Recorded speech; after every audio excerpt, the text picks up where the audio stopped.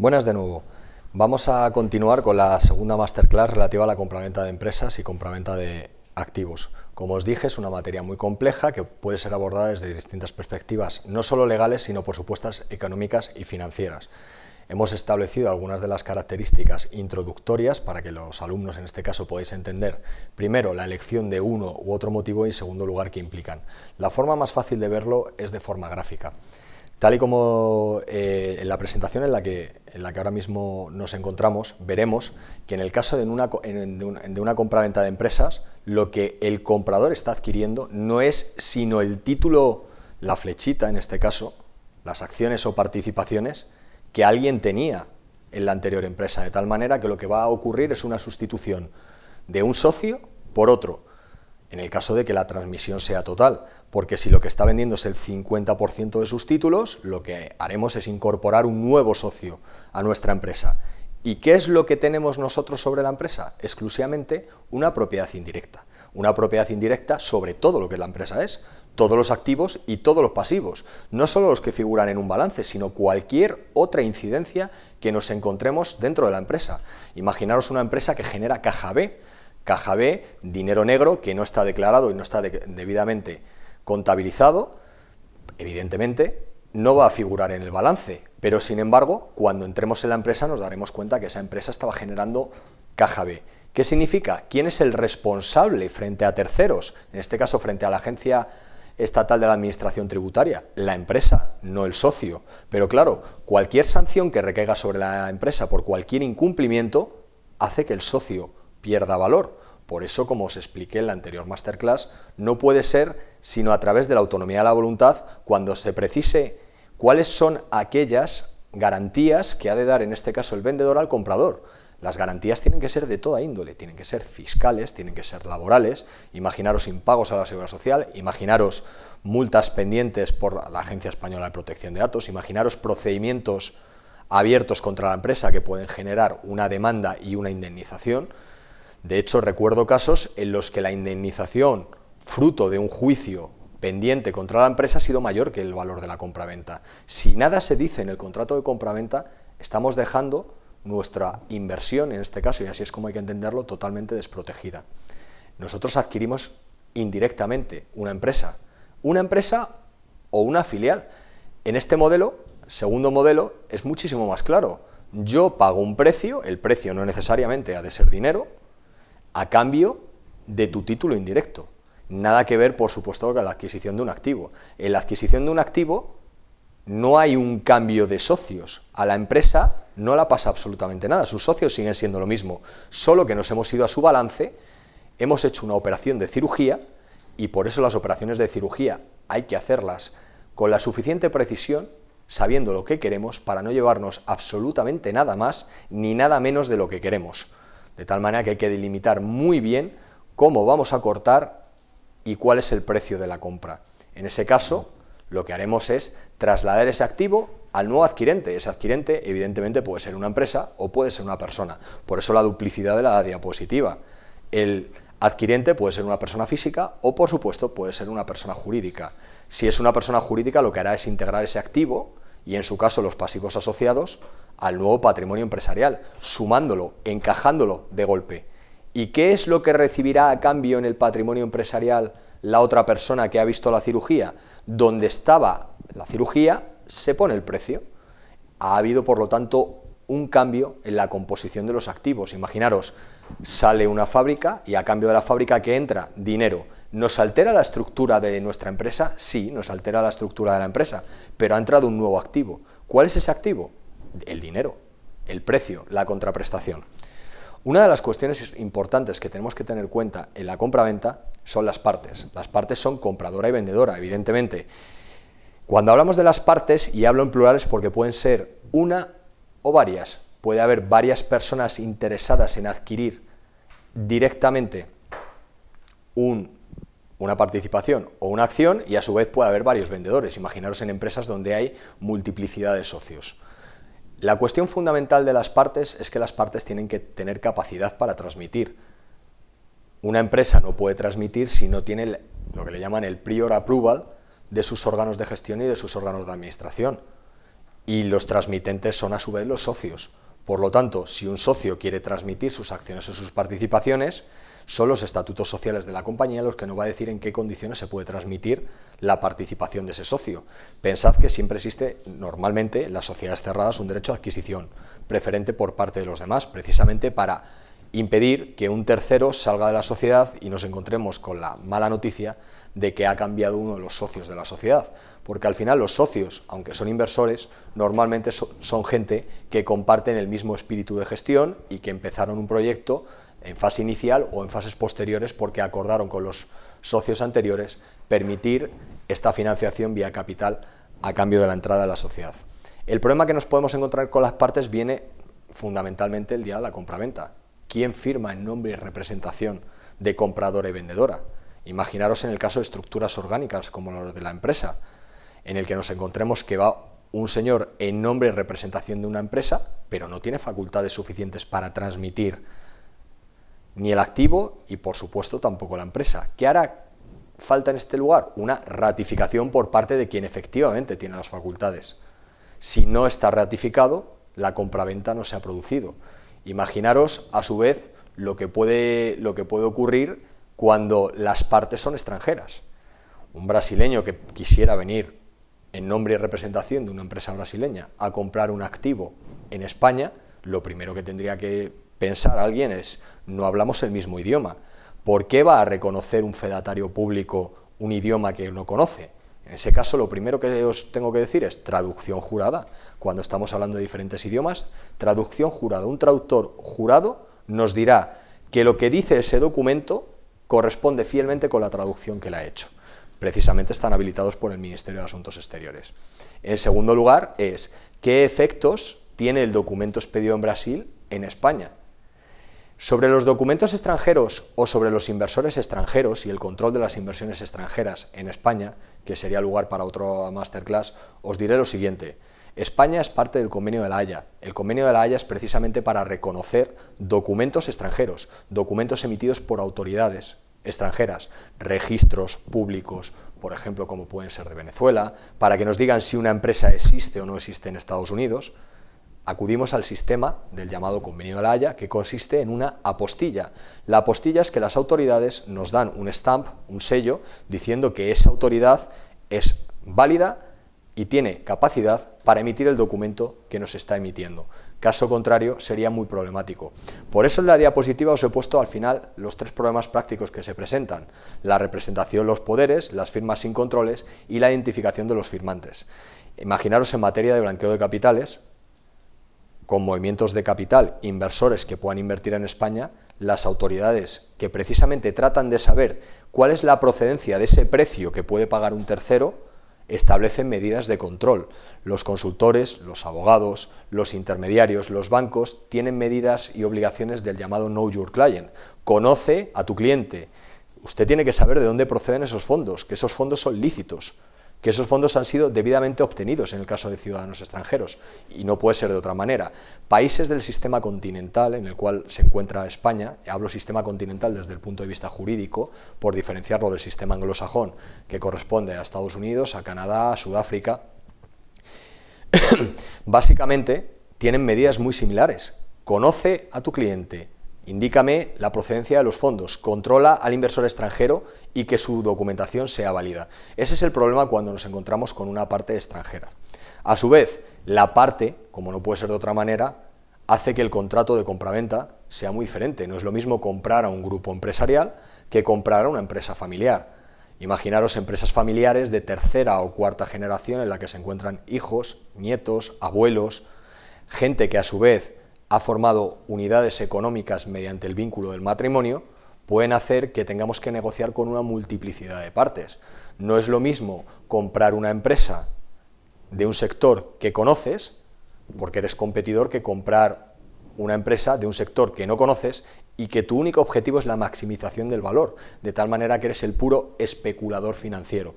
Por eso la tipología del comprador varía. No es lo mismo un comprador que conoce exactamente la empresa o el activo que va a integrar a su nueva empresa porque se dedica a un sector conexo, cuando digo conexo estamos hablando de competencia horizontal o de competencia vertical, sino Por supuesto, porque además sabe gestionar este tipo de empresas y sabe exactamente cuál es el valor que le va a aportar la empresa. Frente a estos compradores estratégicos que compran bien a sus proveedores, bien competidores para aumentar su cuota de mercado, para tener presencia en un país que hasta ahora no lo tenían, tenemos los compradores financieros. Para a mi juicio, esta, esta delimitación no, no debiera ser así. Todos debiéramos ser, en cierta manera, compradores financieros. Nuestra inversión, en este caso nuestra adquisición de un activo o nuestra adquisición de un título indirecto de propiedad, como puede ser el título, las acciones o las participaciones, en todo caso está para que nos maximice valor. ¿Y cuándo? Pues puestos a elegir en el menor tiempo posible. A mí me gustaría comprar a dos, recuperar el dinero de mi inversión y que me esté generando beneficios lo antes posible y cuando crea que ya no lo puedo hacer mejor, trasladarlo a un tercero. Como veréis, el motivo de la venta puede ser yo ya no sé gestionar mi negocio de forma mejor. ¿Y cuál es la única manera de recoger los réditos de tu negocio? Mediante la desinversión. Cuando yo desinvierto, lo que, lo que aparece en ese momento y aflora son las plusvalías. La diferencia entre el valor de compra y el valor de venta. Si además el periodo del tiempo ha sido corto, para mí será interesante porque habré maximizado mis beneficios. Las, compraventas de empresa podemos, podemos hablar de, de, distintas formas de comprar o vender empresas. Normalmente la compraventa de empresas, todo el mundo piensa que es una negociación entre comprador y vendedor. Esto rara vez ocurre porque el modelo habitual es el de salir a ser vendido o salir a buscar aquello que compras, el llamado proceso de subasta, a través de intermediarios. Oiga, mire, estaría interesado en adquirir una empresa Brasil que se dedique a los tornillos y me gustaría saber qué es lo que hay, cuáles están en posibilidades de vender y cuáles pueden hacer que yo cree sinergias con el negocio que ya tengo. El proceso, como veréis, es muy diferente entre la negociación entre A y B o acudir a un intermediario para que te busque aquello exactamente que tú estás interesado y en el que además hay varios potenciales interesados, imaginaros un señor que quiere vender su empresa y dice, yo venderé mi empresa a quien más pague por ella. Va un intermediario, el intermediario busca potenciales interesados y así es como se cierra el procedimiento. Antes, ¿quién tenía la parte fuerte en los procesos de subasta antes de la crisis económica? Muy sencillo, las partes vendedoras se ponían en venta y rápidamente tenían muchos potenciales adquirentes interesados en pagar en un proceso de pujas continuas el mayor valor por esa compañía. A día de hoy las, cosas han cambiado. Quien tiene, en este caso, la sartén de su mano es el comprador. A día de hoy, fruto de la crisis financiera, las empresas se encuentran con falta de liquidez, se encuentran muy castigadas y los compradores no son precisamente eh, muy numerosos, de tal manera que fundamentalmente tendrá la parte fuerte el precio de la compra al final nos encontraremos que el número de operadores serán muy pocos en estas operaciones en plenos tiempos de crisis. Más operaciones que podemos ver actualmente son las llamadas operaciones de distress, la compraventa de empresas en crisis. Comprar una empresa con deudas, una empresa que está en una fase concursal previa a la disolución y que no puede hacer frente a sus cumplimientos y a sus obligaciones de pago, cuando la gestión del comprador cree que bien reconfigurando su deuda vendiendo la empresa cada uno de sus activos y sacándole más valor en mercado que el que vale toda la empresa en su conjunto, puede darle una solución a la empresa. Operaciones recientes, como la compra de, por parte de la Caja de Ahorros del Mediterráneo por parte de Banco Sabadell por, por un euro, es fruto de ello. No es que la Caja de Ahorros del Mediterráneo valga un euro, es que debido a la deuda creciente que tiene esta compañía, que hace que sea insostenible en el mercado, ha de ser comprada por una parte que no solo renegocie la deuda con los acreedores, sino que sea capaz de decidir qué activos mantiene y qué activos vende. De tal manera que al final ha comprado algo con muchísima deuda, tiene muchísimo peligro, pero si le saca un valor, fijaros el precio al que compró y diréis, ¿y por qué alguien estaría dispuesto a vender a un euro? Primero, por los problemas que se quita. Y segundo, porque es mejor tener un euro que no tener cero. Y además, imaginaros cuando la gestión de una empresa es nefasta, empezamos a hablar de responsabilidades. Los socios no solo perderán su, inversión, sino que en ocasiones los administradores pueden ser declarados responsables y en ese caso se estarán jugando no solo el dinero de su inversión, su patrimonio empresarial, sino su patrimonio personal. Por eso las operaciones a un euro que han aflorado en los últimos años en España no son tan, tan disparatadas. ¿A quién vender? Evidentemente, ¿cuál es el mecanismo automático de liquidez de mercado que permite una venta masiva? La bolsa. ¿Quiénes van a ser los compradores? Todos aquellos adquirientes, en este caso de las acciones que saquemos a bolsa. Como veréis, la bolsa es un mecanismo muy fácil para colocar de una forma rápida la venta de una empresa siempre que tenga un tamaño considerable. Digo muy rápida y muy fácil en la teoría, pero en ocasiones es tremendamente costoso. Porque ¿qué ocurre si la empresa no genera el interés de los mercados? No se adquieren los suficientes títulos. En ese caso, los costes operativos de lanzar una empresa a bolsa para desinvertir y venderla son tan sumamente cuantiosos que nuestra operación nos habrá supuesto un coste y un error gravísimo. ¿Qué es, por tanto, lo que se suele hacer en la práctica, en las llamadas operaciones de tramo dual. El tramo dual es voy a intentar sacar la empresa a bolsa y si veo que no voy a ser capaz de sacarla, en ese caso tendré que negociar con terceros concretos la venta de la totalidad o de parte de mi empresa. La pregunta fundamental que en muchas ocasiones se hace es ¿cuándo tengo que vender? La respuesta desde el punto de vista financiero, que no legal, es obvia cuando usted haya maximizado el valor de la inversión, cuando usted crea que la empresa, bajo su gestión, bajo su control indirecto, no va a generarle rendimientos o los rendimientos ya no son lo suficientemente buenos. Ese es el momento claro de la desinversión. Sin embargo, frente a una metodología y a una forma de ser que tendría un inversor puramente especulativo o financiero, la realidad es que nos encontramos con el ser humano. Y el ser humano muchas veces tiene a las empresas como si fueran sus hijos, de tal manera que no abandona procesos empresariales en marcha sencillamente porque tiene una conciencia de es mi hijo, lo he parido yo, lo he fundado yo, es fruto de mi esfuerzo, es fruto de mi trabajo. Lo que no se da cuenta es que es una inversión. Si esa inversión no es capaz de seguirla sacando rentabilidad, lo que tiene que hacer es abandonar el negocio. Si no hay nadie interesado en continuar con su negocio, absolutamente nadie, lo que tendrá que hacer es liquidar la empresa, llevarse, pagar la deuda y llevarse los activos, realizándolos en mercado y obtener un valor por ellos interesante. Es la mejor decisión que puede tener un vendedor. Pero claro, estamos hablando de que esto es en teoría, porque ¿cuál es la realidad que nos encontramos? La realidad son empresas familiares, la realidad son conflictos entre socios y además la decisión de vender es traumática. No solo es traumática para el vendedor por el proceso en el que se va a meter, sino por supuesto para todo el entorno. Imaginaros una empresa que se vende. Lo primero que piensan los trabajadores es quién va a entrar, qué va a hacer con la empresa, voy a ser necesario, no voy a ser necesario, qué va a pensar el mercado si la empresa está bien posicionada. Probablemente haya habido un fracaso del modelo de gestión, algo raro pasa con esta empresa para que se quiera vender, no han sido capaces de gestionarla adecuadamente bien. Como veréis, son motivos subjetivos que nada tienen que ver con la creación de valor. La creación de valor es lo que busca el vendedor a la hora de la desinversión y lo que busca el comprador, que en el futuro tendrá que tomar la misma decisión que el vendedor, es cuándo voy a maximizar mi valor de compra en el momento de mi desinversión, en aquel momento en el que haga líquido lo que pagué por una empresa. Porque si bien es cierto que hasta ese momento podemos estar recibiendo retribuciones del capital, en este caso a través de los dividendos, los dividendos no siempre son interesantes repartirlos. En ocasiones el beneficio empresarial es mucho mejor que esté dentro de la empresa a que esté en el patrimonio del socio.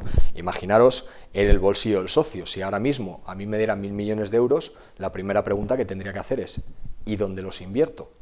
Si en la compañía me dan un 24% de rentabilidad y yo no soy capaz de ir a un banco y conseguir más de un 24%, cuestión esta que como os podéis imaginar es impensable, lo lógico es que el beneficio se reinvierta en la propia compañía. ¿Por qué? Porque me está ofreciendo una rentabilidad mayor que la que sería yo capaz de obtener por mí mismo. Claro, el problema fundamental es que el socio quiere dinero por la liquidez entonces, los procesos de compra-venta al final son largos, implican a las partes la decisión de comprar o vender, el precio, el precio que como veréis es una pugna entre autonomía y la voluntad de las partes, pero en todo el proceso y al margen de las distintas fases legales que las podréis ver en los manuales que están debidamente explicadas, toda operación empieza con unas negociaciones y acaba con un cierre.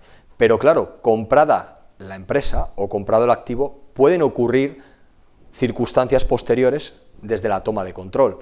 Por lo tanto, habrá que ajustar esas condiciones y muchas veces incluso el precio tendrá un valor u otro en función de lo que ocurra después.